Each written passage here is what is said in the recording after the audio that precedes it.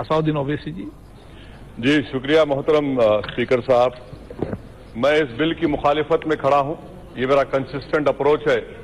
तीसरी मरतबा मैं इसकी मुखालिफत में खड़ा हूँ और इंशाला जब तक ज़िंदगी बाकी रहेंगी, इस बिल की मुखालिफत करता रहूँगा। मोहतरम स्पीकर साहब, ये बिल हिंदुस्तान की आइन दफ़ा चौदह, इक्कीस, पंद्रह, छब्बीस और उनतीस की खिलाफ वर्जी करता है। ये हमारे आइन के बुनियादी हकूक की मुखालिफत करता है। अब आप देखिए स्पीकर साहब, कि क्रिमिनलाइज कर दिया गया ट्रिपल तलाक को। मैं पूछना चाहता हूँ कि भाई, जब सुप्रीम कोर्ट ने होमोसेक्सुअलिटी को डीक्रिमिनलाइज कर दिया अडल्ट्री को डीक्रिमिनलाइज कर दिया, और आप ट्रिपल तलाक को क्रिमिनलाइज कर रहे हैं, वाकई में आप नया हिंदुस्तान बनाने जा रहे हैं, मुबारकबाद देता हूँ आपको।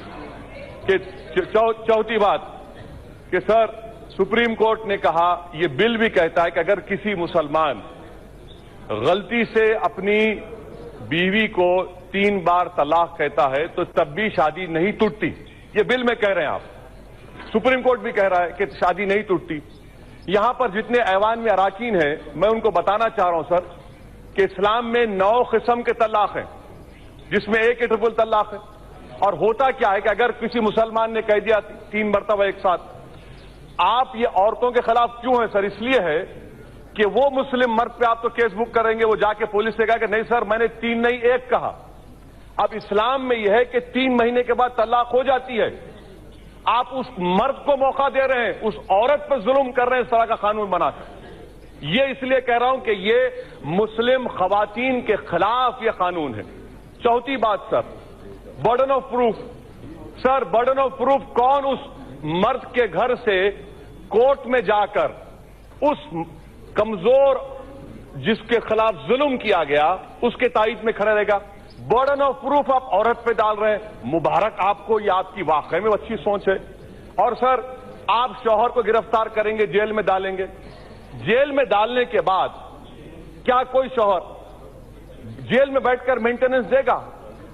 अच्छा फिर अगर कोर्ट ने फैसला लिया कि उसको हम तीन साल की सजा दे देते हैं तो क्यों वो औरत तीन साल तक उस, उस शादी में रहे? ये औरतों पर जुल्म नहीं है कि जेल में बैठा रहे और औरत उसके इंतज़ार में बैठा रहे और तीन साल के बाद जब वो जेल से निकलेगा तो औरत ये कहे कि बहाओ फूल बरसाओ मेरा महबूब आया है। ये कौन सा इंसाफ है सर ये? आप क्यों औरतों पर जुल्म कर रहे हैं? उस औरत को उस शादी से निकलने का अख्तियार मिलना चाहिए जो आप नहीं दे रहे हैं। पांचवी बात, सर, बेल। बेल, बिल में कहते हैं कि कोर्ट खातून को सुनेगा। सर, होम मिनिस्टर बैठे हैं। किसी मर्डर केस में आप विक्टिम को नहीं सुनते? बेल देने का अख्तियार डिस्क्रेशन प्रोसिक्यूशन बहस करता है इंडिपेंडेंटली और कोर्ट फैसला देता है। ये आपने तय कर दिया कि ना मर्डर में है, ना 307 में है, आप बोल रहे हैं। कंपाउंडेबल कंपाउंडेबल कब होगा? आप महिला पर डाल रहे हैं। 498 में ऐसा नहीं है। डोमेस्टिक वायलेंस में ऐसा नहीं है। डोमेस्टिक वायलेंस का कानून इस्तेमाल होगा तो एक ऑफिसर अपॉइंट होता है जो जाकर मियाँ बीवी से बात करता है। फिर वो रिपोर्ट देता है। आप तो शादी को खत्म कर रहे हैं। औरत को रोड पर ला रहे हैं और उसके शोहर को जेल में डाल रहे हैं। ये काम कर रहे हैं आप। अच्छा सर प्रिजम्पशन ऑफ़ इनोसेंस ये तो एनडीपीएस एक्ट में होता है. टेररिस्ट एक्ट में होता है कि प्रिजम इनोसेंस आप वो भी छीन ले रहे हैं। मुबारक हो आपको। अच्छा सर कोर्ट क्या कहे? नॉन एस्ट नॉन एस्ट जब तलाक नहीं होता तो फिर आप किस बात की सजा दे रहे हैं? मैं भी एक कानून का स्टूडेंट हूँ। एक्टस रेस है ही नहीं। एक्टस रेस हुआ ही नहीं। मगर आप कह रहे हैं कि हम सजा देंगे। अच्छा सर पॉस्को एक्ट आप तो बड़ी नीयत से बना रहे हैं। गवर्नमेंट कह रही है अच्छा Kailash Satyarthi Nobel prize winner का आज स्टेटमेंट पड़ा।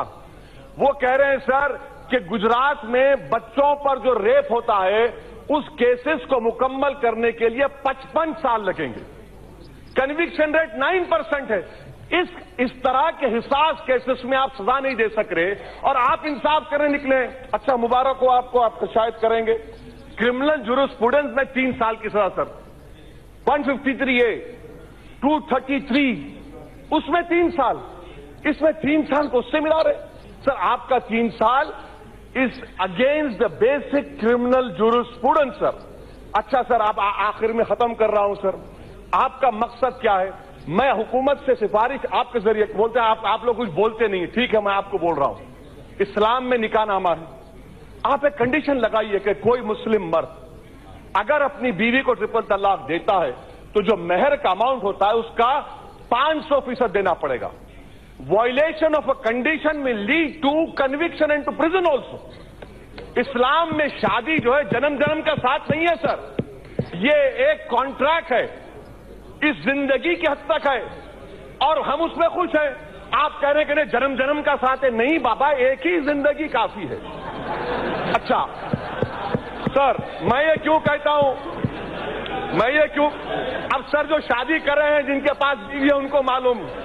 इसीलिए सब हंस रहे हैं। सबको मालूम क्या तकलीफ़ है। बाहर आकर तो सर जिंदाबाद, ये सब कहेंगे, हमारे घर में सब क्या होता है मालूम। अच्छा सर, आर्टिकल 26 का वायलेशन क्यों है? आर्टिकल 26 का वायलेशन क्यों है? आर्टिकल 26 में रिलीजियस डिनोमिनेशन को अख्तियार है अपने राइट को प्रोटेक्ट करने का। सर, मैं हिंदुस्तान में मुसलमान होमोजिनस नहीं है, हनफी हैं, शिया हैं, अहले हदीस हैं। अब आप मेरे को बताइए, मुख्तार नकवी साहब चले गए।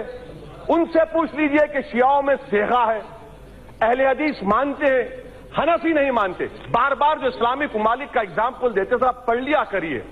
अल्जेरिया में शाफाई है, केरला में शाफाई है, ईरान में शिया है तो सर ये गलत तरीका है और हमको इस्लामिक ममालिक से मत मिलाइए, वरना रेडिकलिज्म बढ़ेगा, मत मिलाइए हमको। हमको इस्लामिक ममालिक से मतलब नहीं, हमको हिंदुस्तान से, भारत से मतलब है। अच्छा सर, मैं आपको बात बता रहा हूँ। सर, अब आप देखिए, सर, ये सरकार की नीयत देखिए, साफ़ नीयत। मी टू जब मूवमेंट चला ग्रुप ऑफ़ मिनिस्टर्स की रिपोर्ट कहाँ गई? आपने ग्रुप ऑफ़ मिनिस्टर्स को डिसबैंड कर दिया। आपने अपने एमपी के खिलाफ एक्शन नहीं लिया। ये आपकी महिलाओं से मोहब्बत मुबारक हो आपको। अच्छा सर, तेईस लाख हमारे भारत में हिंदू महिला हैं जो शादीशुदा है मगर अपने हस्बैंड के साथ नहीं है। कहाँ गई आपकी मोहब्बत भाई? सर, खत्म कर रहा हूँ, सर। मैं कमज़ोर हूँ, सर। आप ही दो तो भगा दिए, अब आप भी। अच्छा सर सर मैं खत्म कर रहा हूँ। मुजफ्फरनगर में एक भी मुस्लिम महिला पे जो रेप हुआ, एक भी केस में कन्विक्शन नहीं हुआ, सर। मुबारक हो आपको, ये आपकी मोहब्बत है। अच्छा सर, जुलाई 2018 में सुप्रीम कोर्ट ने कहा कि मॉब लिंचिंग के खिलाफ कानून लाइए। आप अभी तक नहीं लाते। सर, क्यों नहीं लाते, सर? आखिर में, अगर वाकई में मोदी सरकार, मैं खत्म कर रहा हूँ, सर लास्ट सेंटेंस अगर वाकई में करना चाह रहे हैं, आप जली कट्टू पे ऑर्डिनेंस लाए। कि आर्टिकल 26 का मुझे प्रोटेक्शन नहीं मिलेगा 29 का नहीं मिलेगा। और आप वाकई में महिलाओं की मदद करना चाहते हैं तो मैं आपके ज़रिए से सरकार से कहना चाह रहा हूँ कि हिंदुस्तान के वज़ीर आज़म, हिंदुस्तान के वज़ीर दाखिला, हिंदुस्तान के वज़ीर कानून बीजेपी के जितने महिला एमपी हैं, उनको स्पेशल एयरक्राफ्ट में साबरी माला लेकर जाइए। प्लीज़ लेकर जाइए सर और मैं खत्म करने से पहले कह रहा हूँ यह कानून मुसलमानों को उनकी तहजीब, उनके तमद्दन, उनके मज़हब से दूर करने के लिए लाया गया है। सर, हम जब तक भारत में रहेंगे, सुबह कयामत तक रहेंगे, अपने दीन पर रहेंगे, कुरान और सुन्नत पर रहेंगे, कानून बनाने से सोशल ईवल का खात्मा नहीं होता। वरना औरतों पर जो जुल्म हो रहा है, वो कानून से खत्म नहीं हुआ। और राजीव गांधी ने जो कानून बनाया मैं आपको कह रहा हूँ, उसको सुप्रीम कोर्ट ने अपेल्ड किया, अपने इल्म में इजाफा करो और अपनी जहानत का सबूत मत दीजिए। यह कानून जुल्म करेगा मुस्लिम महिलाओं के खिलाफ, इसीलिए मैं इसकी खिलाफ वर्जी करता हूँ। शुक्रिया। Subscribe us and press the bell icon for more interesting updates.